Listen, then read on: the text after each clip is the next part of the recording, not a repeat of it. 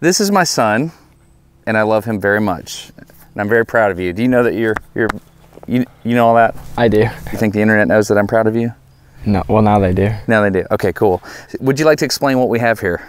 Um, we have a single barrel pistol, a double barrel pistol, and then a triple barrel pistol. A what? Triple barrel pistol.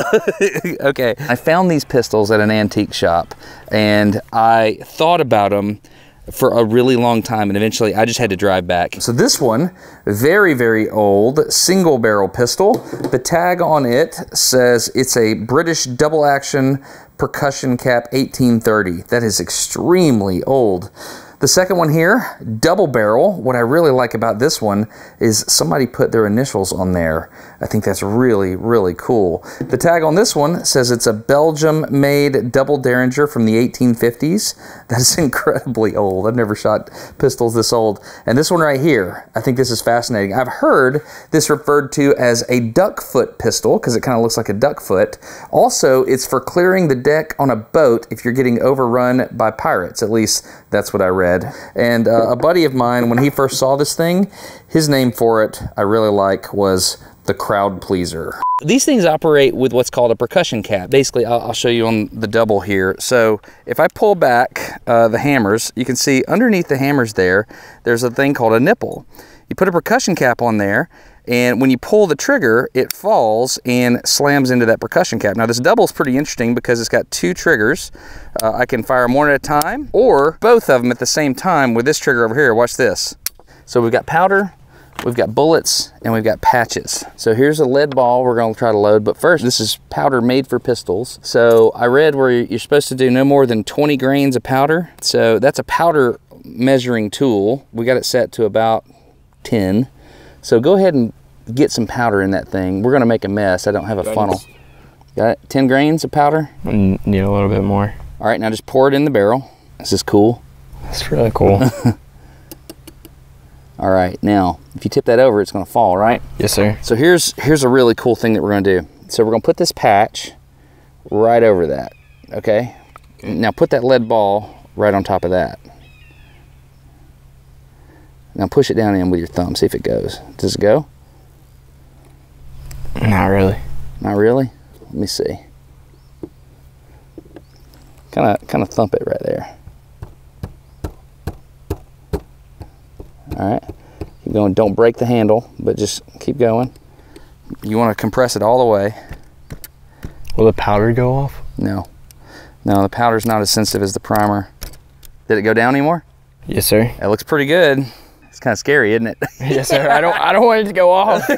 All right, pull that rod out. All right, so we got the high-speed camera. Let me get it set up so we can get a shot. I want to be the guy to fire this because if it doesn't work, I don't want you to get hurt. That's fair. Not like it's from the 1850s or something You like that. right? So I'm gonna load this thing. So I'm gonna put the the percussion cap on the nipple. You know what? I'm gonna hide behind titanium. I'm just gonna be safe. this thing's old. Does it look in focus? It looks like the end of the gun is in focus, but like your hand and Right stuff here? isn't. Tell me what to do. Uh, go forward. Keep going a little bit more. There you go. There you go. it? Stop. Stop. I have no idea if this is gonna function. Ready? Yes, sir. 1830s black powder, 10 grains. Three, two, one.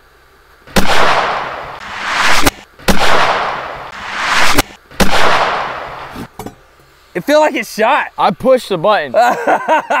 So I saw smoke and I pushed the button. man, that was so ridiculous. That was like the nerdiest way to shoot a gun ever. Open that thing up. Oh, it loosened it. Oh, did it? It did. All right. Did it go? Is it clear? It's clear. Let's see what the slow-mo says. Uh-oh, looks like we did have problems. Looks like the sensor wigged out here. So you gonna shoot it this time? Sure. That's pretty funny. Let's do it then. I love you. All right. So, all right, get in position. You need a percussion cap. I have one. You have ears in. Yes, sir. All right, load your percussion cap. Let me get my ears in. Percussion cap is loaded. Okay, ready? Ready. You look awesome. Three, two, one. Got it. I saw the uh, I saw the patch come out. I saw that too, and I also saw it hit like a leaf over there. Oh, did you really? Like it hit something, and a bunch of leaves fell. Okay, clear the gun. Obviously, it is clear, but that's just what we do. Okay, look at that.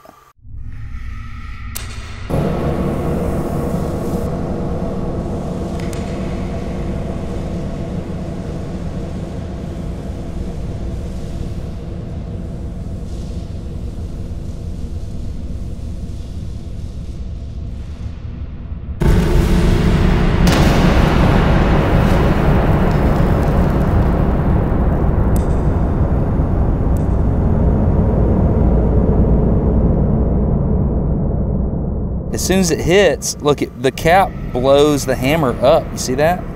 Oh yes, sir. And so then it's lighting the powder inside. Takes quite a bit. There's it feels like a delay when you pull the trigger, doesn't it? Oh wow, so you have the cap hit.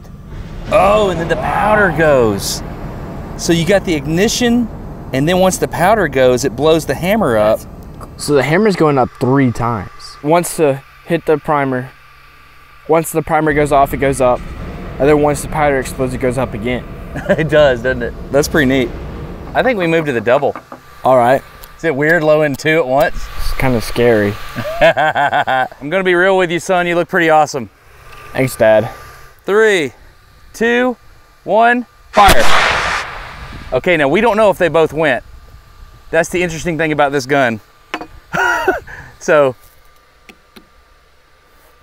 They pull the trigger again. Just just as a safety. Yeah, why not? So another one went, Yeah. but it didn't sound like the thing went, Sounded like the percussion cap went. but not the. Oh wow, what an interesting predicament. So we don't know. Good thing we have a high-speed camera. So we're gonna assume one of these barrels is loaded, right? Yep. Okay. All right. Let's see what happened.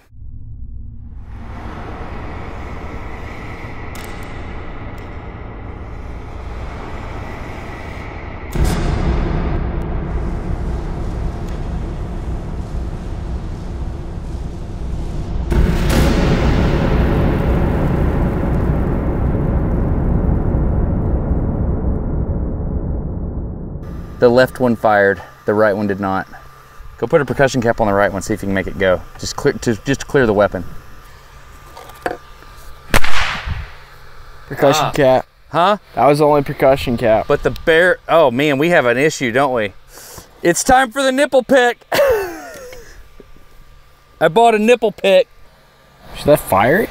Huh? Is that gonna fire it? No, I'm, I'm just trying to get a path to the powder. Try to clear it. Yep. Three, two, one. Only percussion cap. So we're gonna we're gonna assume that there's powder and a and a ball in there, right? So we'll flood it later with uh, water. Did Papa bring his donkey? He brought his donkey. You bring him Miss Pearl over here? He wanted her on video, didn't he? okay, we're gonna move on because I don't know how to clear that right now. Got it out. We're gonna take a donkey break. This is Miss Pearl. Miss Pearl. Hey, Miss Pearl. I've got a special camera. People have been taking pictures of people and donkeys for a long time. Oh yeah. Got it. That'd be fun.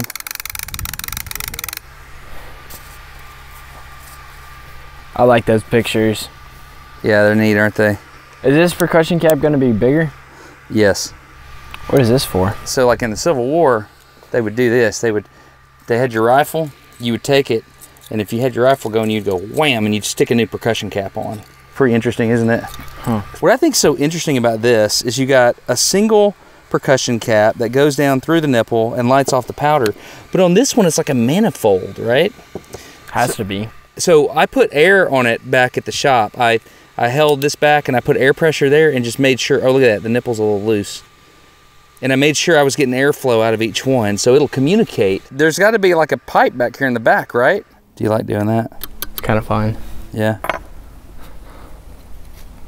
I don't think I could do it if somebody was shooting at me though. Yeah, I think uh, a cartridge bullet style design is a pretty good thing. so they go all the way down to the blocks So the bullet's down in the block. on the left on the left and the right side. Okay. But if you go to the middle one, it goes like down into the block. Interesting. Okay, I'm gonna shoot the triple first. Looks good here. Okay, red circle. Red circle and looks good there. Will you hand me this plate of titanium right here? Yes, sir. I'm ready. Three, two, one. Oh gosh, that was scary. Could have a smoldering thing there. I'm gonna hold it for a second.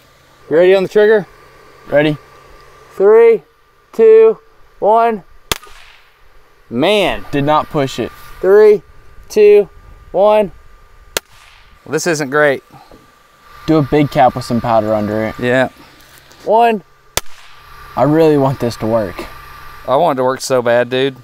Three, two, one. Something happened. I hit the button. you hit the button? It felt like a single cylinder went.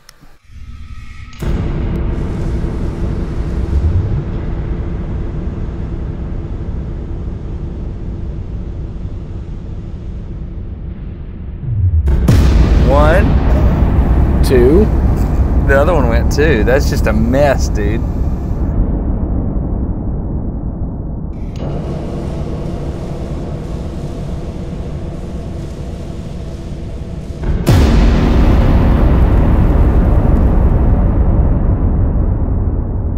You want to load her back up? I really want to. Load that thing up, 15 each. Did you pick the nipple? Not yet. Here's your nipple pick. It's a clean looking nipple right there, man. You know, it's an important thing for a son to learn proper nipple hygiene from his dad. Mm-hmm. Do you feel that way? I feel like you've taught me how to clean my nipples properly. okay. Three, two, one, That scared me. All right, load another cap. three, two, one. It's getting annoying. The pirates have already taken our ship over. Ready in three, two, one. What do you think we do? I mean, if we were pirates, we'd die. That's exactly. we- We'd get swashbuckled real hard right now, wouldn't we? We would. Dead gummit. Ready in three, two, one. I made sure to. Let's go. Did you push that time? Yes, sir, I did. Let's go. Look at that fizzle, fizzle, fizzle. Boom. So cool. Oh, dude. Is it like Oh, sick. Come here.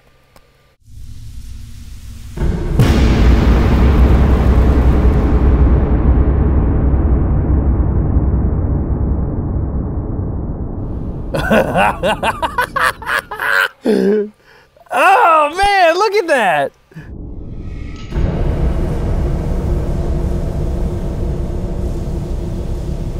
The lock time is forever. I'll have to I'll calculate it later. We don't have time to calculate it right now, but it it's clearly smoldering for a while before it goes. like how long? Milliseconds, tens of milliseconds. The sponsor's Ridge. What if we put three Ridge wallets up there and you try to hit all three of them? We can try. You think you can do it? I don't know. Maybe. Depends on how far away they are. Ridge is the sponsor for this video, which really excites me because I love my Ridge wallet. I didn't think I would, but I love this thing. It's so small and it's really easy to get to your cards, and uh, I like the AirTag money clip. This is a thing that helps me find my wallet when I misplace it, which is a really big deal in my life.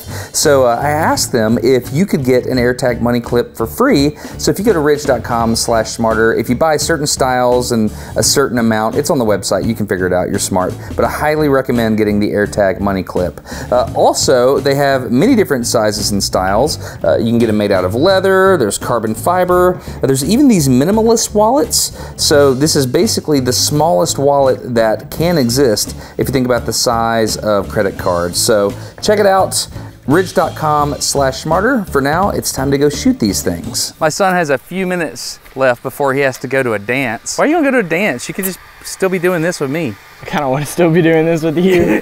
Whatever, dude. So what's the plan here? You wanna walk me through it? I'm gonna have to line the middle barrel up here and try to find like a distance back to where these barrels are about in the same position Oh, in in the in outside. because you have a fixed spread. Like that would be mm-hmm. too close. So let's back up. Back up with me. So as you go back, the pie spreads out and is like right there, for example. That's interesting. And there's also a component of this that matters. So this is like planar aiming, isn't it?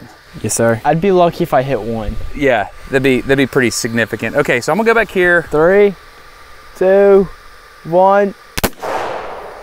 I think you nicked one. Ah.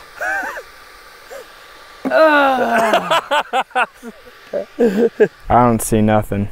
Oh, you hit it right here. You wanna try one more time? Let's go for it. He's worried because he's about to go to homecoming and uh, this is his last opportunity. All right, ready?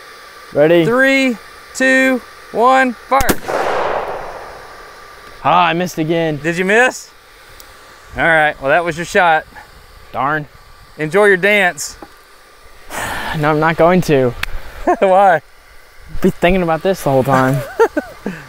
Where do you think you missed? I felt it felt low that time. Felt low? All right, well, you can go on and I'll try to hit it while you're gone. All and I'll get it. Okay, do it for me, please. Have fun. Yes, sir. Okay, now that my son is gone, uh, old age and debauchery will beat youth and skill. Let's move this thing a little closer and we'll just do this. We'll play the angle game a little bit. We'll just move them in a little bit. Huh. It's neat how that works.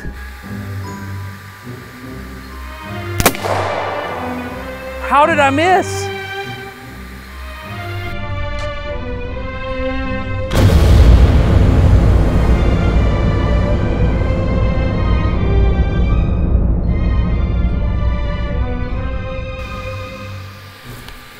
On plane, I'm gonna aim lower than I think I need to. All right, three, two, one. How on earth am I missing?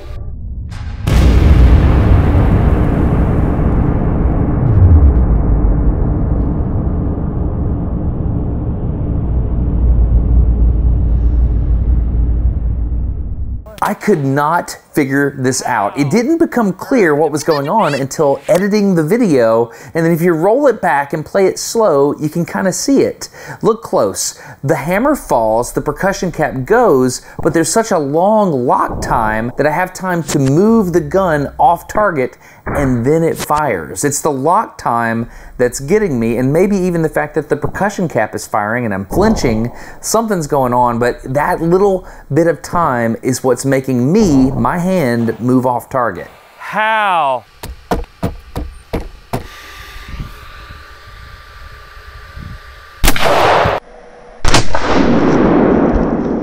It worked. that is so stressful.